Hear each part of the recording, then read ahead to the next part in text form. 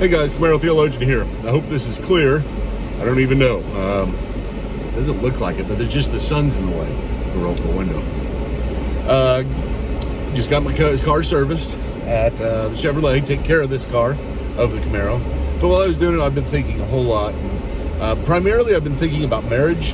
I mean, I think about marriage a whole lot. Uh, you know, I've been married 23 years, and yeah, I love my wife. She's the greatest thing God ever created and uh, she's so sweet. She's so, I mean, what you see is what you get. She is the real deal. Every time you see her, there's no manipulation. She doesn't even know how to manipulate. She's a she's a great, great woman, and I'm so lucky to have her. Most beautiful thing I've ever seen, and um, you know, it's just it's just something I, I've never said. You know, I've never said it publicly. I've never written about it. I just it's something I'm very private about my marriage, and I thought, you know, I'll do something just because I did a wedding yesterday uh, of my nephew and um, it was a uh, it was a beautiful wedding. Everything was was went well, and uh, and uh, uh they asked me beforehand so for some advice and talking about what is the main thing uh, that you do. I said something funny. It wasn't very good. Hopefully, it was funny later on. But I had something better. You know, that it's the one thing you would say to somebody about marriage whenever they're getting married. After 23 years, what have I learned? Gosh, there's so much. I mean, it, it, would take forever to express the emotions of the difficulties that you go through and how hard, hard, hard it is and how much you, you do think about what marriage is and whether or not, you know, you can continue on in marriage. And believe me, I've been there lots, a whole lot. I'll be there again in the future because it's the, it's the primary tool I see that God shapes me more than anything else because it's the closest relationship. The difficulty is, two people are trying their best to be one and they're very different. And and you cannot you cannot cease the becoming of one with marriage. You can you can uh, uh, stop it by divorce but whenever you're married it is always attempting to happen. And it's puzzle pieces that's trying to be put together and it's very very difficult to find where things go very few times that I've ever seen in my life where there's a marriage where, you know, people just, uh, they're happy and they never have any problems.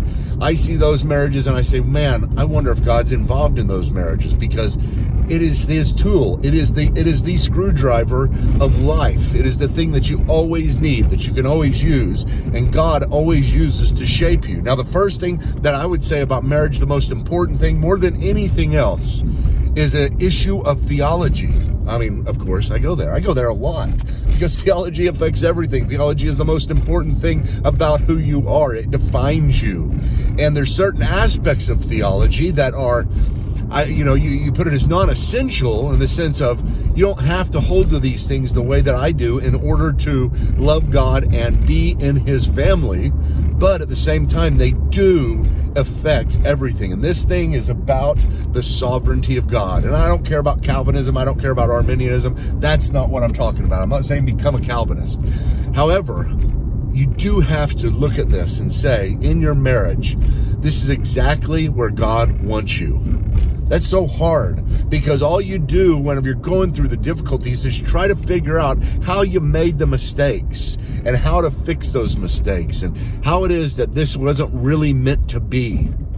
And I, have been there. I've been, I mean, I've been at that door so many times and you, you, you want to open it, but you can't because it's locked. There's a lock on that door that says, leave this marriage. And that lock is the sovereignty of God. That's the biggest lock that you have. All the other locks are smaller. You can break them. This one you can't. If you have the sovereignty of God deep, deep within you and you say this to yourself, this is exactly where God wants me. This person that I am with is exactly who I should be with. Uh, I know that there's all kinds of yeah buts. I'm not dealing with those right now. Okay.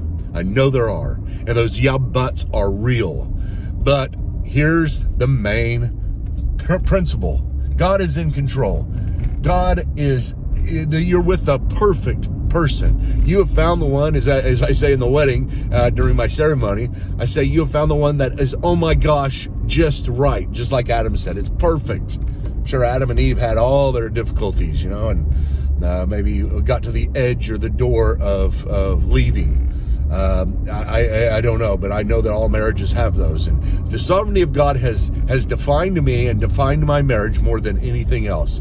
And my wife believes in it. My wife wife believes in our marriage, and in the end, we always have to work it out because this, unless we leave God, or not leave God in the sense of, you know, no longer believing, but leave Him in the sense of saying, God, I know you're trying to use this, and this is your tool, this is your screwdriver, but I've decided that I am just gonna, you know, uh, kind of leave this situation. I'm sorry, God, because it's too hard. I understand that. I really do. It's it's hard. It really is hard. Um, but keeping the sovereignty of God in perspective, holding that tightly, and letting your spouse be used in a way that is is transforming you more than any other thing on earth.